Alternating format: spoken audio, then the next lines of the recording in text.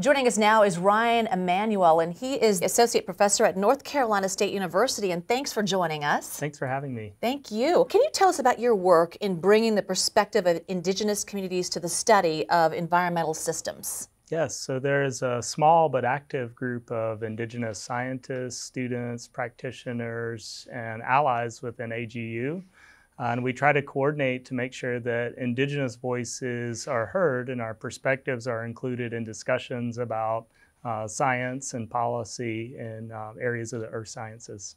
And what about the Native Science to Action program? Can you expand on that? So, this is our third year um, offering Native Science to Action sessions at the fall meeting. Uh, these are poster sessions and oral sessions that feature research and policy work uh, by members of the Indigenous community within AGU and by others who are working in collaboration with Indigenous communities here in the US and around the world. So that's going to take place on Thursday. We have a poster session Thursday morning with a gallery walkthrough where everyone gets a chance to share their work.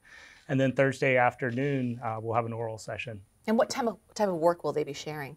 So it's a wide range of work. Uh, some people are working on um, restoration of culturally important ecosystems uh, with maybe food or medicinal plants in places like the Pacific Northwest. Uh, we have people working on projects related to water internationally.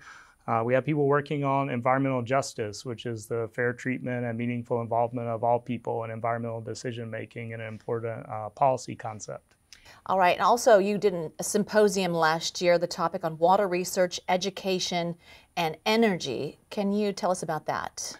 Uh, we gathered at Salish Kootenai College in Montana for about four days in August of 2018. We had about 30 participants to participate in this workshop. Uh, we learned from each other. We talked about the case studies that we individually work on, some of the common issues and difficulties of being an Indigenous person working primarily in um, non Indigenous spaces, uh, academic institutions, universities, uh, dealing with state and federal policies that may not be designed to uh, prioritize things that are important to us culturally. All right. Well, thank you so much for your time, Ryan Emanuel. Thanks Appreciate so much.